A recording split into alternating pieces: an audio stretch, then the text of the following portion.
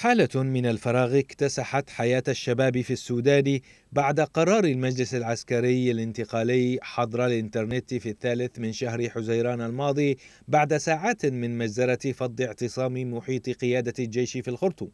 قرار حظر الإنترنت أحدث شللا تاما في قطاعات التكنولوجيا المرتبطة بالخدمة وأثار غضبا واسعا بين مستخدمي مواقع التواصل الاجتماعي. لكن محكمة الخرطوم الجزائية أمرت بإعادة الخدمة في التاسع من شهر تموز الحالي إلى حين النظر في دعوى تقدم بها أحد المحامين ضد شركات الاتصال. وقد حاولت السلطات الحكومية الطعن في قرار المحكمة قبل تراجعها أخيرا. البنك الدولي قدر خسائر السودان من إيقاف خدمة الإنترنت بنحو 45 مليون دولار أمريكي في اليوم الواحد وهو ما يساوي مليارا و665 مليون دولار أمريكي عن كامل مدة الإيقاف. في حين تجاوزت خسائر الشركات والأفراد الذين ترتبط أعمالهم بالإنترنت 750 مليون دولار أمريكي في فترة الإيقاف.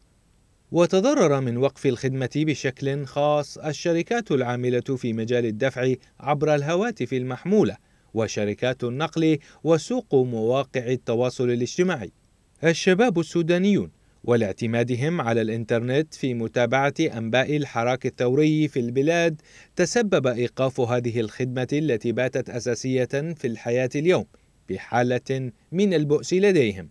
ما دفعهم للبحث عن وسائل بديلة على رأسها التواصل المباشر بين بعضهم البعض واستخدام الرسائل القصيرة والمكالمات الهاتفية فقد كانوا يتلقون الدعوات للتظاهر بتلك الوسائل أو عبر التسليم باليد من قبل لجان المقاومة في الأحياء أو الشوارع. ويخشى السودانيون من تكرار خطوة حظر خدمة الإنترنت التي ساعدتهم بشكل كبير في نشر أخبار حراكهم الشعبي. ولعبت دورا كبيرا في ثورة كانون الأول الماضي وكانت منصة لدحض كثير من السيناريوهات التي تحاك ضد الثورة والثوار.